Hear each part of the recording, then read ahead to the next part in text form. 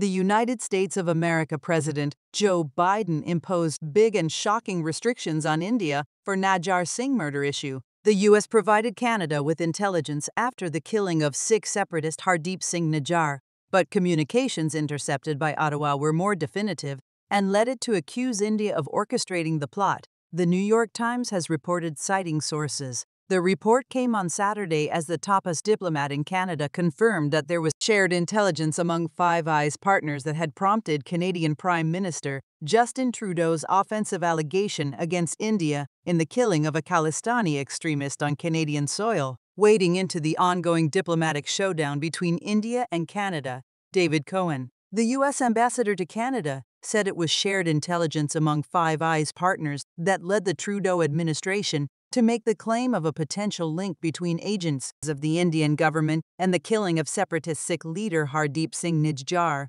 The Five Eyes is an intelligence alliance comprising Australia, Canada, New Zealand, the US, and the UK. The tensions between the two countries, India Canada, escalated after Canadian Prime Minister Justin Trudeau alleged that the Indian government was behind the fatal shooting of Hardeep Singh Nijjar.